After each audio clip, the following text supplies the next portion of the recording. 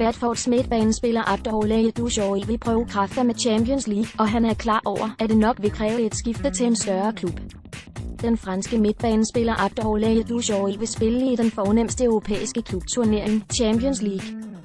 For at få det ønske til at gå i opfyldelse, skal Watford-spilleren med al sandsynlighed finde sig en ny, større klub. Alle ønsker at spille i Champions League, så det kan betyde, at jeg skal til en stor klub, siger Dushoy til Kanal Plus. Ifølge Goal, Dushoy har i denne sæson været en profil hos Watford og er blevet nævnt i forbindelse med flere større klubber. Franskmanden afviser der heller ikke, at det kan blive til et klubskifte til sommer. Det var min drøm at spille i England og at spille Premier League.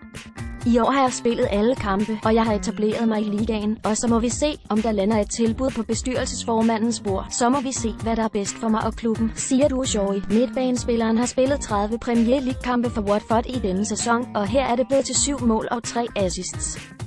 Se Danmark, Chile i aften på Eurosport Player. F2 ugers gratis adgang nu.